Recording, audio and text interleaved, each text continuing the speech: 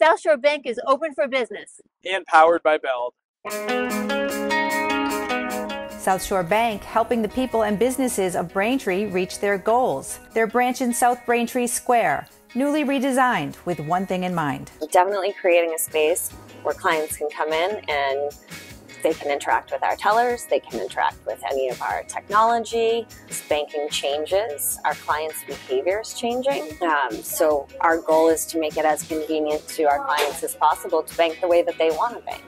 So this right here is our interactive display. We have a few different resources on financial education, personal banking, and business banking as well. South Shore Bank offers personal lending and wealth management services, along with business banking and SBA loans.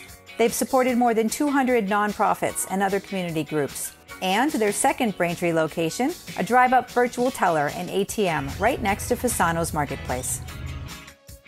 To learn more about this Braintree business or others in our campaign, visit BraintreeOpenforBusiness.com.